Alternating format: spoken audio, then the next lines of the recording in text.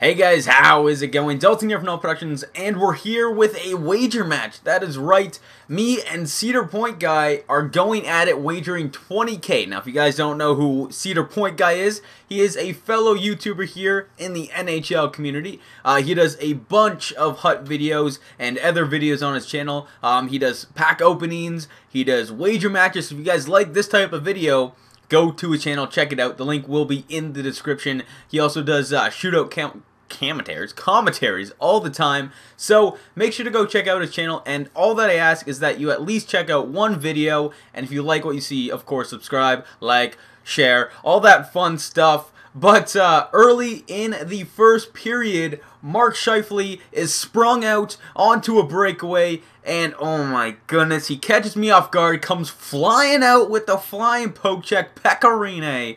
Oh my goodness. Pokes it off me. A pretty good chance here in the first period, but uh, nothing doing after that flying poke check.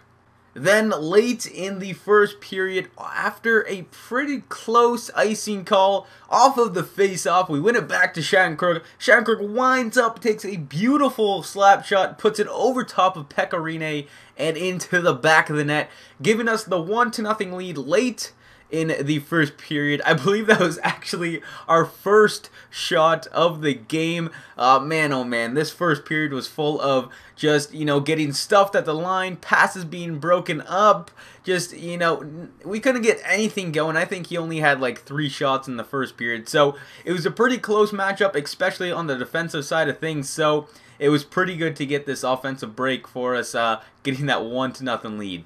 Then, right off the opening face-up of the second period, we have an absolutely horrible breakout pass. He takes advantage, picks up the puck, comes in, does a nice one-touch deke, and absolutely snipes it over top of Jonathan Bernier's shoulder, putting it in the back of the net, tying up the game at one.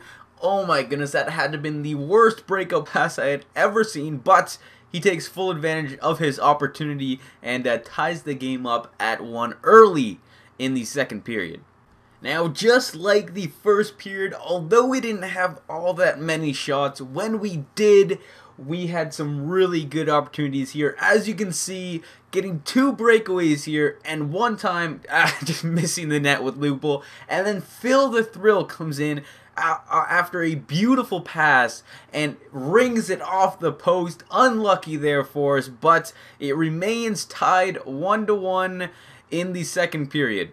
Just like in the second period, there is no shortage of good chances as we get a great opportunity here with Lupul on the breakaway, but can't do anything.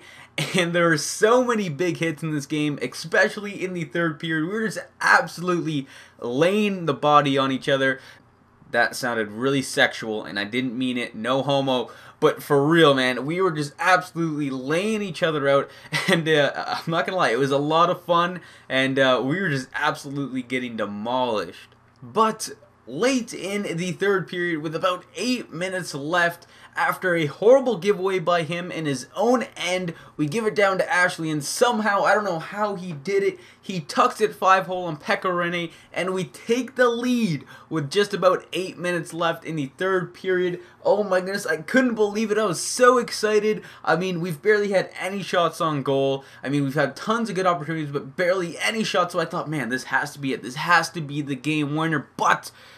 Of course, Cedar Point guy had other plans. He comes down, splits my D with a couple of nice dekes, and absolutely undresses Jonathan Bernier and puts it in the back of the net to tie it up at two late in the third period. Oh my goodness, I couldn't believe it. I thought I had it. After that late third period goal that I got, I thought, that's it, man. That is it. I've won it 20k in the bag.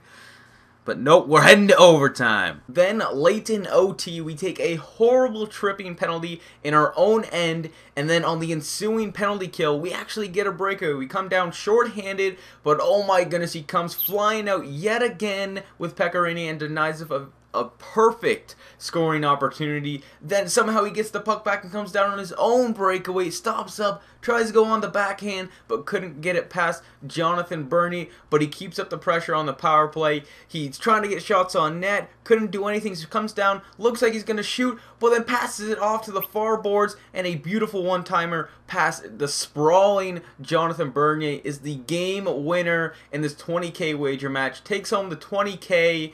Oh my goodness, I couldn't believe it. It was a great game, a lot of fun, super intense, and very close. And uh, it was a beautiful way to end it. A great play by him there at the end of the game. A beautiful pass, a beautiful finish.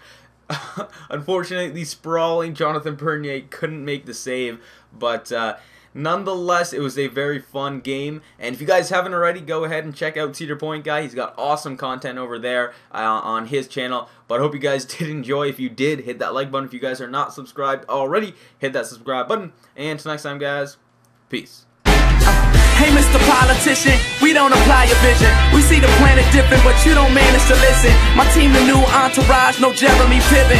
I'm like the Fresh Prince, just minus the amphibian.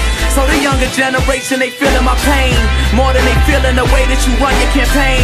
Sometimes I put money over making a change.